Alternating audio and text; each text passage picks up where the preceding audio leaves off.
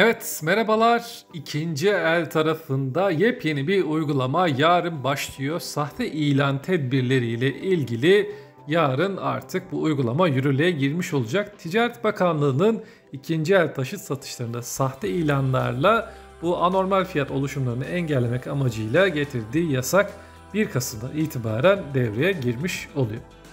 Bu uygulama resmi gazetede 31 Ağustos tarihinde karşımıza çıkmıştı. 2 aylık geçiş süreci verilmişti.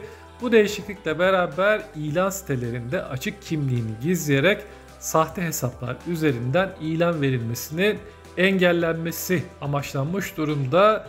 Buna göre kişi kendisine, eşine birinci ve ikinci derece kan hısımlarına ait olmayan ya da sahibi tarafından yetkilendirilmeyen taşınmaz taşıtın ilanına konulması 1 Kasım'dan itibaren yasak olmuş olacak. Bununla birlikte işte otogarajcılar sahip oldukları yetki belgelerinde doğrulama yapması gerekecek.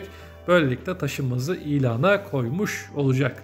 Bu uygulamayla beraber sahibinden de ve diğer sarı sayfalarda da uygulamaları kontrol etmeleri gerekecek. Bununla ilgili de idari para cezaları var. Mevzuata aykırı davrananlar için her bir aykırılık 10 bin liradan 100 bin liraya kadar idari para cezası karşımıza çıkmış olacak. Özellikle bu uygulamayla beraber sizce ikinci el ilanlarının sayısında düşüş olur mu? Çünkü her geçen gün ilan sayısının arttığını 950 binleri de geçtiğini görüyorduk. Bakalım ilan sayısı düşecek mi? Bu mevcut ilan sayısı yani 31.10 tarihli ilan sayısını da şöyle ekrana koymuş olalım.